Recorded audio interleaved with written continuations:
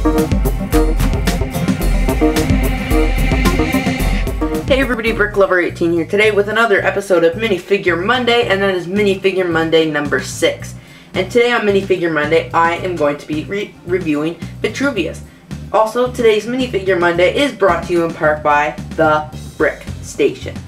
Sorry that I didn't do this minifigure last week like I should have. I was just so busy with some other stuff and decided just to cancel it altogether for that last week. But we're picking back up again this week. Let's just do a quick 360 of this figure before we go into close-ups.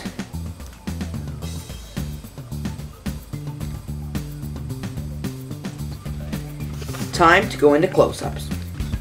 So here are his legs, or pants, or a dress as you even call it, because a lot of female minifigures do use that as a dress. But it looks like, honestly, he's just put, it's got jeans and a shirt on, which you, you can only see the bottom part of the shirt, with a white house coat on, because that's all it really looks like, a nice fancy house coat with some frills, stuff like that. But that's mainly what the uh, dress, pants, whatever looks like. And you can also see part of his blue sequenced cape. Going up a little, you do get to see the rest of his blue sequenced cape. And you also get to see his torso. And his torso, oh wait, you can't really see it because he's got such a big beard. But I'm going to take the beard off so you can see the torso. So now with his beard, his head, and his hair, and his cape all off, you really get to see the torso and just the pants.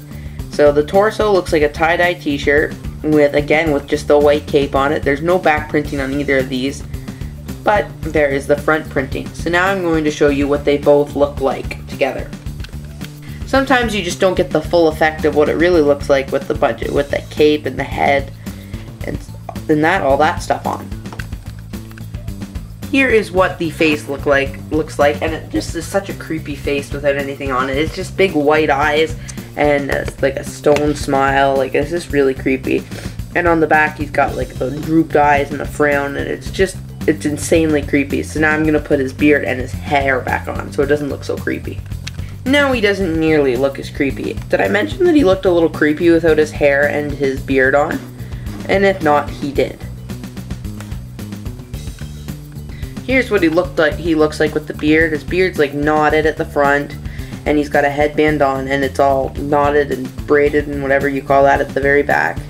And it is quite long. It actually drags down to his dress area. Very long hairpiece.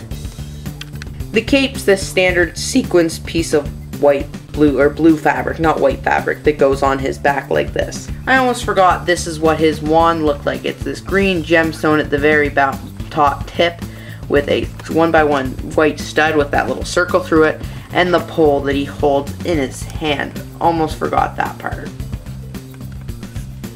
Just do a 360, one last 360.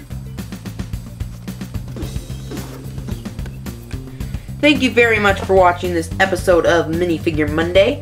So if you have another suggestion for a minifigure other than the Vitruvius, Benny, and any of the other minifigures that I have done, please comment them below and I will put them on my list and try and get back to them as soon as possible. I believe I only have a couple more weeks filmed, or left to film, like three more weeks I think.